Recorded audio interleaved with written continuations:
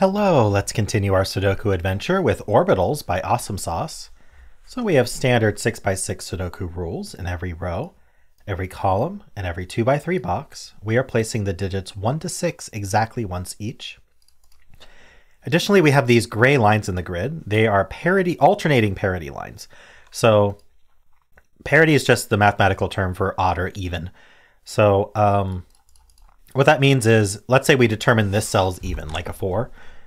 Then the next cell next to it has to be odd. So it could be, say, a 3. And then this would have to go back to even.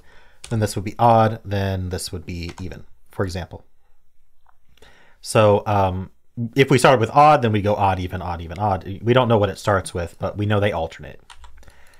All right, so that's all these lines. This is just a loop, but it's the same thing. Um, and then the circles in the grid are even odd count circles. So they count either the number of evens in the eight cells around them, up to eight cells. This one has th three cells around it because the, the others are off grid. But in the up to eight cells around it, it counts the number of evens or the number of odds. And the way it determines whether it counts the evens or odds is the parity of the circle itself. So if I place, say, a 5 in here, then I would expect to find 5 odds around it. If I place, say, a 6 in here, I'd expect to find 6 evens around it. Hopefully that makes sense. Um, so yeah, there's a link in the description if you want to try the puzzle yourself. And I am going to get started right now.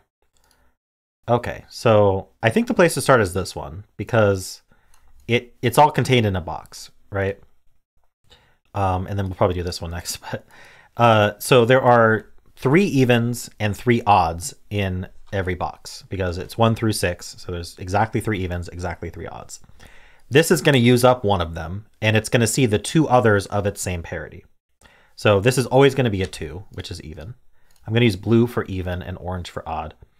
And so now, how do we put only two evens on this line? If we started here, we'd have to put three of them. So we got to put two evens here, and then this would be three odds. And this is odd, and it counts the odds, so it's just a one. Um, this is 3, 5. Oops, not 3, 4. This is 3, 5, and this is 4, 6. Um, okay, I think... I don't want to look at this one right now. I think this is pretty open. Um, between these two, Oh, actually, I, I see the trick with this one. Um, let's actually color this one green and purple.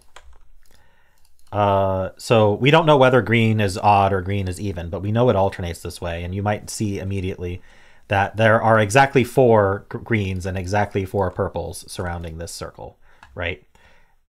It, it should have been pretty obvious without even coloring, to be honest, um, because there are, you can just math it. There are eight cells around the circle and this complete this just a perimeter parity line so half of them will be even half will be odd so this has to be even in a four because it's going to count the, the four evens around it. You can't count the odds around it because there's not an odd number of odds.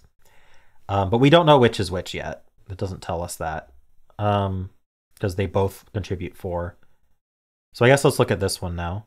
Um, we're going to have a, the same pattern as this one right? We're going to have either three odds or three evens and then two odds or two evens. Like it's three and then and then two. Um, so this is only two or three.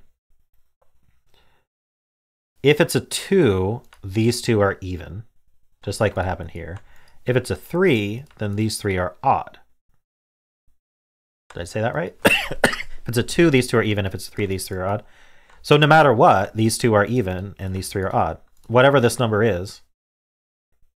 If it's, yeah, if it's a two, it counts these two. If it's a three, it counts these three. Oops, there are no sevens in this puzzle. I meant to undo. Um, cool. All right. Oh, and we have three odds in this column. This is a 3-5 pair. That makes this a 2, and it's even. So far, the evens are uh, outnumbering the odds. Actually, they will. But I am thinking a little bit meta here.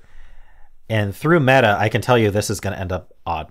Um, because if it wasn't odd, we don't have any way to distinguish the three fives from each other because the, the circles are the only thing that actually give you digits.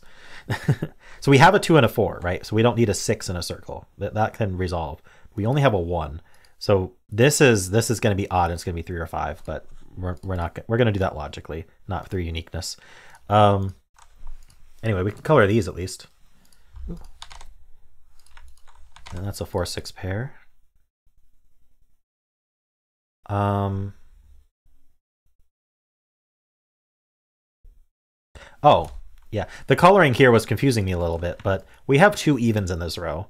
So if these were even, we would have four evens in the row. So that's not that's not going to happen. So these are odd. And these are even. Uh, that makes this odd, this even, this odd. It's like all checkerboarded. I wonder if the whole grid ends up checkerboarded. that would be funny. Um, is it at this point that we look at this and make it a 3-5? Let's see. Well, if it wants to be even, it needs to be a 2. If it was 2, it already sees 2. So these would all be odd. And yeah, we'd have four odds in this row. So that's not going to work. So it's not even because it can't be a 2. It can't be 4, 6 because it sees a 4, 6 pair. So it is odd, which is good because we need it to be. Uh, right now, oh, it's definitely not a 1 because it already sees 3 odds. Now, if it was a 3, all three of these would be even. I don't see any reason they couldn't be. I'm going to keep an eye out on that, though. Um, I guess this one, too, goes over here. Let's do some Sudoku if we can. Let's, we can fill 2, 4, 6 in these. These aren't 4. We can fill 1, 3, 5 in these. We can fill 1, 3, 5 in all these. We can fill, oh, we can fill a 6 here. That's helpful. Um, there we go. I guess I didn't consider five. So in these two cells, we only get one more odd in this row. So in these two cells, we can contribute one more odd. So this would be a one, and then this would be an odd. So I guess it would be a three. Seems okay. Oh, I can put a 2 here. So, oh, I just noticed these 2's line up. Aha. Where does 2 go in this column? uh, this 2 sees here, and this 2 sees here. None of these are 2. So the 2 goes here. And it's even. And so that actually that ends up with 3. I, I thought for sure it would end up 5. Um, okay. So it's it's a 3 because we only we only see 3 odds right now. Uh, we can't see two more because that would be too many in the row. So it's a three. Five, three. Clean this up a little bit. Um, but because it's three, these are both even. Let's make sure we fill that. So that's a five. This is four, six. Yeah, we can resolve that. Um, that resolves all of these. you basically do two different Sudokus in one because you have to solve the evens and odds separately from each other. Um, this is 165, uh, 165. And don't worry, I will color these. All right, cool. Well, uh, thanks, Awesomesauce. That was a neat puzzle. Um, a nice use of this interesting variant. Um, I think I've done I've done a nine by nine with this with this circle constraint. I don't remember if it was combined with parity lines or not. But yeah, super interesting. Um, thank you for your, for this puzzle, and uh, I hope you enjoyed it as well. And if you did, then why not leave a like, subscribe, and a kind comment below.